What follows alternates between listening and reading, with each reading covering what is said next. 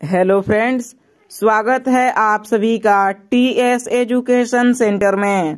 Friends, आज के इस वीडियो में हम जानेंगे संविधान से संबंधित कुछ महत्वपूर्ण जानकारियाँ, जो आपके आने वाले सभी प्रतियोगी परीक्षाओं के लिए महत्वपूर्ण होने वाला है।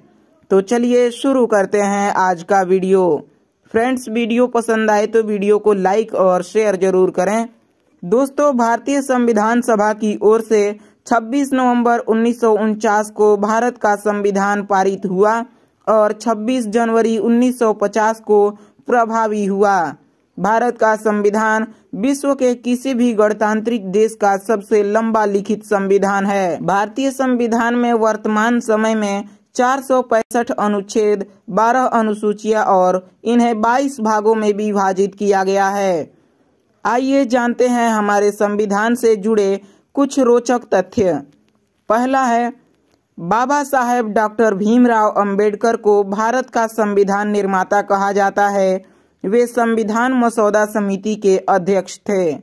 दूसरा, अंबेडकर को संविधान का फाइनल ड्राफ्ट तैयार करने में दो साल, ग्यारह महीने और अठारह दिन का समय लगा था। तीसरा, पूरे देश में 26 नवंबर को संविधान दिवस के तौर पर मनाया जाता है। चौथा, देश का सर्वोच्च कानून, हमारा संविधान 26 नवंबर उन्नीस सौ उनचास में अंगीकार किया गया था। पांचवा, संविधान सभा पर अनुमानित खर्च लगभग एक करोड़ रुपए आया था। छठवां, मसौदा लिखने वाली समिति ने संविधान हिंदी अंग्रेज़ी में हाथ से लिखकर कैलीग्राफ किया था। और इसमें कोई टाइपिंग या प्रिंटिंग शामिल नहीं थी। सातवां, संविधान सभा के सदस्य भारत के राज्यों की सभाओं के निर्वाचित सदस्यों के द्वारा चुने गए थे। पंडित जवाहरलाल नेहरू, डॉक्टर भीमराव अंबेडकर, डॉक्टर राजेंद्र प्रसाद, सरदार वल्लभ भाई पटेल, मौलाना अबुल कलाम आज़ाद आदि इस सभा में प्रमुख सदस्य थे। आठवां 11 दिसंबर 1946 को संविधान सभा की बैठक में डॉक्टर राजेंद्र प्रसाद को अस्थायी अध्यक्ष चुना गया था, जो अंत तक इस पद पर बने रहे। नौवा, इसमें अब चार सौ पैंसठ अनुच्छेद तथा 12 अनुसूचियाँ और ये 22 भागों में विभाजित है। इसके निर्माण के समय मूल संविधान में तीन सौ पंचानवे अनुच्छेद, जो 22 भागों में विभाजित थे। इसमें कुल आठ अनुसूचियाँ थी। दसवां, संविधान की धारा चौहत्तर एक में यह व्यवस्था की गई है कि राष्ट्रपति की सहायता को मंत्री परिषद होगी, जिसका प्रमुख पीएम होंगे। ग्यारहवा, संविधान में प्रशासन या सरकार के अधिकार, उसके कर्तव्य और नागरिकों के अधिकार को विस्तार से बताया गया है।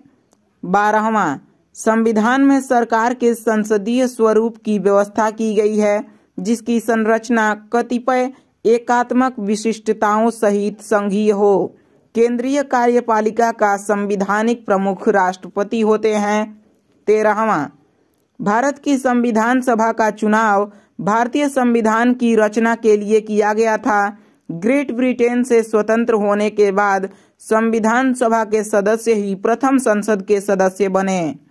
चौदहवा, कैबिनेट मिशन की संस्तुतियों के आधार पर भारतीय संविधान का निर्माण करने वाली संविधान सभा का गठन जुलाई 1946 ईस्वी में किया गया था।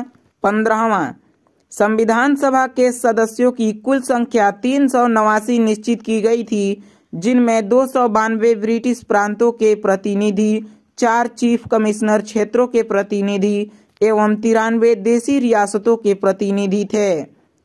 सोलहवा, हैदराबाद एक ऐसी रियासत थी जिसके प्रतिनिधि संविधान सभा में सम्मिलित नहीं हुए थे। सत्रहवा, संविधान के प्रारूप पर कुल 114 दिन बहस हुई थी।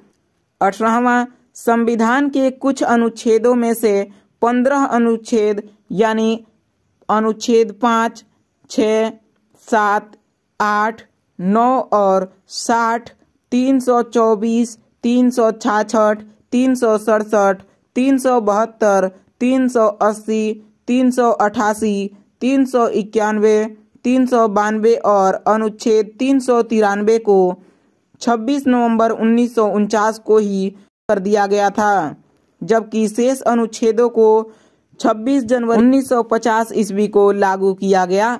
उन्नीसवा, समाजवादी शब्द संविधान के 1976 में हुए बयालीसवें संविधान संशोधन अधिनियम द्वारा प्रस्तावना में जोड़ा गया था।